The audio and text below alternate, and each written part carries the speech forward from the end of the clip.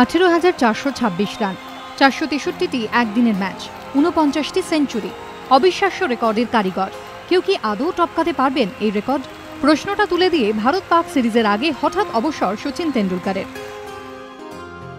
বয়সের ভারে footwork sloth বলের লাইনে যেতে পারছেন না, জাজমেন্টে ভুল হচ্ছে, শেষের দিকে বারবার এইসব সমালোচনা শুনতে হয়েছে সচিনকে। এরপর ভারত ইংল্যান্ড ইডেন টেস্টে ঘুরে দাঁড়ান, সেঞ্চুরি না এলেও সচিনের ব্যাট থেকে আসে ছিয়াত্তর। পরের টেস্টে আবার ব্যর্থতা। ক্রিকেট প্রেমীরা আগ্রহের সঙ্গে চেয়েছিলেন ভারত পাক সিরিজের দিকে। কিন্তু সে আশায় জল ঢেলে তেন্ডুলকার ইতি টানলেন তেইশ বছরের বর্ণময় ক্রিকেট ক্যারিয়ারে। বিবৃতিতে সচিন বলেন, আমি একদিনই ক্রিকেট থেকে অবসরের সিদ্ধান্ত নিয়েছি। বিশ্বকাপ জয়ী ভারতীয় দলে সদস্য হতে পেরে আমি নিজেকে ভাগ্যবান মনে করি। ভারতীয় দলকে আগামী দিনের জন্য অনেক শুভেচ্ছা। দু হাজার বিশ্বকাপের প্রস্তুতি দ্রুত শুরু হোক।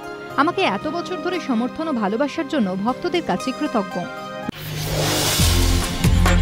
দিল্লি গণধর্ষণ কাণ্ডে নিগৃহীতার শারীরিক অবস্থার অবনতি। ফের পাঠানো হলো ভেন্টিলেটরে। এদিকে স্বরাষ্ট্র মন্ত্রককে দেওয়া রিপোর্টে দিল্লি পুলিশের দাবি, বিক্ষোভকারীদের উস্কানি দিচ্ছে রাজনৈতিক দলের কর্মী সমর্থকেরা। পুলিশের আশঙ্কা, এভাবে চললে পরিস্থিতির আরও অবনতি হবে। দিল্লির বিক্ষোভ সামলাতে এবার আসরে সোনিয়া। বিক্ষোভকারীদের সঙ্গে কথা বলেন কংগ্রেস সভানেত্রী। দশ জনপথে বিক্ষোভকারীদের সঙ্গে বৈঠকেও বসেন তিনি। ছিলেন রাহুল গান্ধী এবং কেন্দ্রীয় স্বরাষ্ট্র প্রতিমন্ত্রী আরপিএন সিংহ। আরপিএন সিংহ জানান, এই ধরনের অপরাধ রুখতে আইন সংশোধন করার চিন্তাভাবনা চলছে। এদিন কেন্দ্রীয় কৃষিমন্ত্রী শরদ পাওয়ার জানান, ফাঁসির জন্য সরকার আইন সংশোধনের কথা ভাবলে সমর্থন করতে প্রস্তুত এনসিপি। অন্যদিকে বিক্ষোভকারীদের ওপর পুলিশের লাঠিচার্জের নিন্দা করলেন দিল্লির মুখ্যমন্ত্রী। আজ সন্ধ্যায় কেন্দ্রীয় স্বরাষ্ট্রমন্ত্রী সুশীল কুমার শিন্ডের সঙ্গে বৈঠকে বসবেন শিলা দীক্ষিত।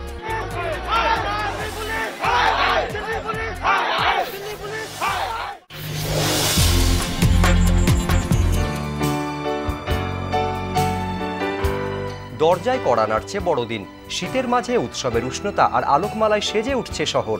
বড়দিনের এই উৎসবের অবিচ্ছেদ্য অঙ্গ কেক। বড়দিন আর ইংরেজি নববর্ষের এই মরশুমে চূড়ান্ত ব্যস্ততা শহরের কেক শপগুলিতেও।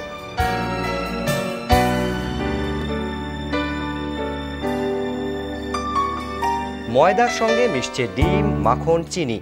তাতে যোগ হচ্ছে নানা রকমের ফল আর বাদাম। কোথাও যোগ হচ্ছে ভ্যানিলা এসেন্স, কোথাও স্ট্রবেরি, কোথাও আবার চকোলেট। সেজে উঠছে আইসিংয়ে।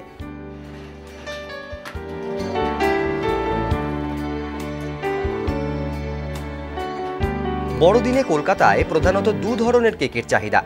একটি সুইস ঘরানার ঘন ক্রিম আর আইসিংয়ে সাজানো কেক, অপরটি ব্রিটিশ ঘরানার fruit cake, plum cake, almond cake.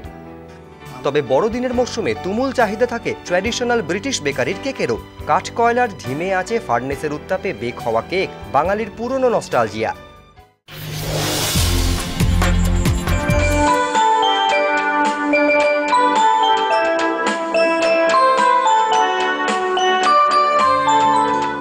তুষার ঢাকা ময়দানের ওপর দিয়ে স্লেজ গাড়িতে না এলেও এই বড়দিনে যে শহরবাসীকে কনকনে ঠান্ডা উপহার দিতে চলেছেন সান্তা ক্লজ সে খবর একরকম পাকা করে দিল আলিপুর আবহাওয়া দপ্তর। কুয়াশা ঢাকা সকাল, সঙ্গী কনকনে ঠান্ডা। অবশেষে শহরে জাঁকিয়ে শীত। রবিবারই মৌসুমের শীতলতম দিন। আবহাওয়া দপ্তর জানাচ্ছে, আগামী আটচল্লিশ ঘন্টাতেও পরিস্থিতির তেমন বদল হবে না। ফলে বড়দিনে জাঁকিয়ে শীত উপভোগ করতে প্রস্তুত শহরবাসী। অব্যাহত থাকবে কুয়াশার দাপট।